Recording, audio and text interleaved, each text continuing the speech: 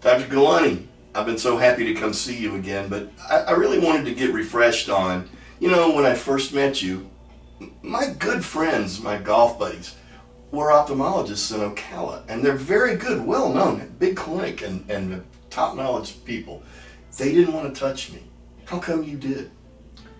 So, Doc, you yourself are an amazing surgeon. You understand the differences. Um, I'm sure they're excellent surgeons. In fact, they are. The doctors are. They do. They do the surgery I had back in the day, but now it's you know RK's not done anymore. Correct. And for you, you had not only RK, you had multiple RK, over 21 cuts, Oh, many, cuts twice. many. Plus, you had dense central scar which was blinding you, and you had a cataract that was happening behind that. So they sent you over just maybe because I have much more experience in treating RK problems from all over. But uh, I truly believe it's not magic. It can be done by any surgeon. It's just that it needs a lot of thought process. And A lot of want to. Yes, I love your words, want to. And also, Ken, you remember, Doc, when you first came to me, I had mentioned to you of why I was going to even start the process of believing that you can see. Remember? Yeah, because of, that's where I, you, you told me that I had a camera and the lens was fractured, but that I was seeing through it. Yes. So that gave you hope that you could fix it. Correct. Because once your retina is normal, which is the film of the camera, then I can do all these things with the optics from the viewfinder to the lens and fix anything or combine or stage it because all the brain wants is to be in focus. It doesn't matter how it's done. And of course, I want it to be done elegantly with least trauma and with the correct direction into the future. Knowing that your cataract is our final endpoint that we have to get to. And we talked about that the first time we came. You said there will be steps to try. Yes. Each step might work. We're hoping for each one, but they're in the they're in line for a endpoint. Yes. And I appreciated that. Being a being a dentist, we do the same thing. You- You're not going to get everything done overnight.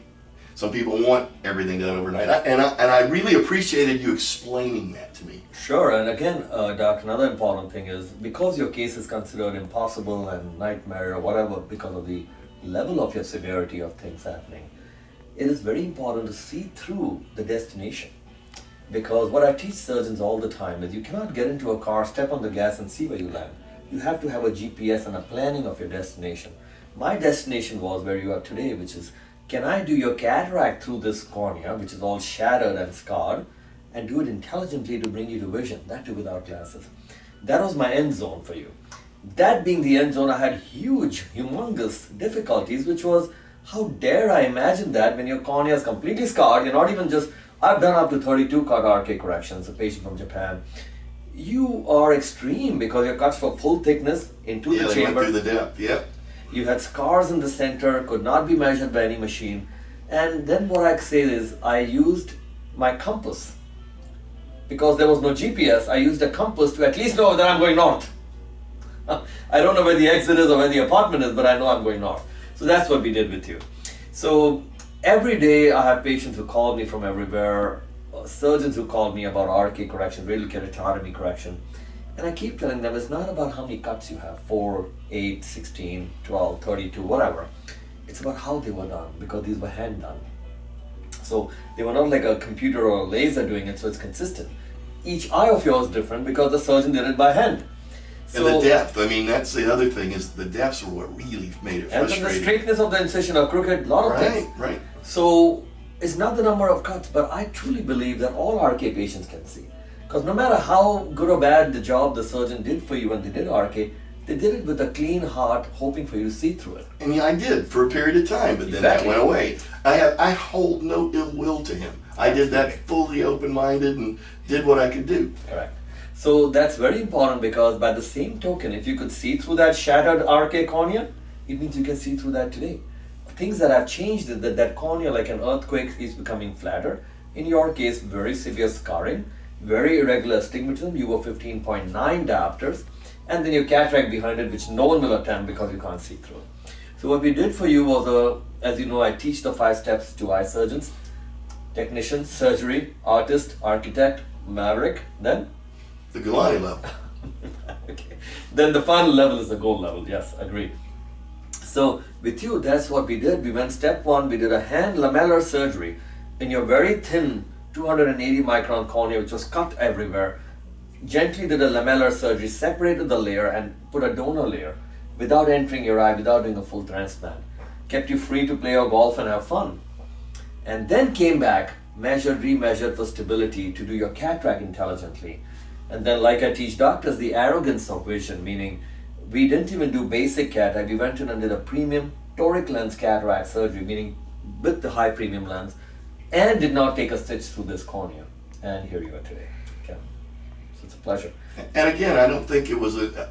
I, it felt like to me very little time on the table.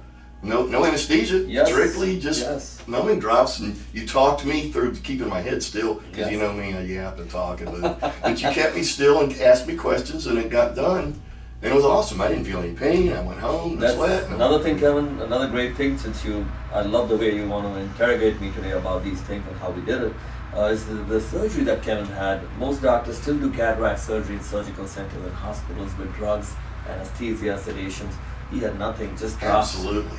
And we just enjoyed the music and Great music. It was a great whole the whole situation was awesome. I would say this that was very comfortable, and I felt like it was in your house or in my house, you know, in a home, taking care of me, and the, and the resting areas were beautiful. They were awesome. Great music. No fear before, but of course I'd known you anyway, so I had no fear.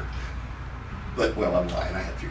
Uh, but, but in the place, there's it's just very comfortable, and the setting was awesome. Plus, you treat us like family anyway, so we've known each other so long. And that's right in our institute, so we don't go into a hospital or surgical center. That's so many people have called it a spa-like experience for the cataract surgery.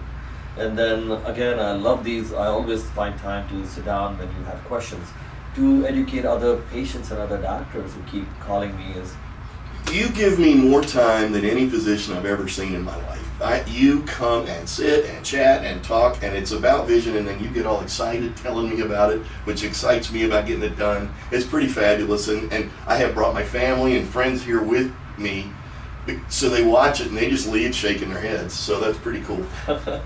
Yes, and again, this is great. I hope this helps people of radial keratotomy who've been told there is no hope or nothing can be done. There is no such thing. You can be fixed.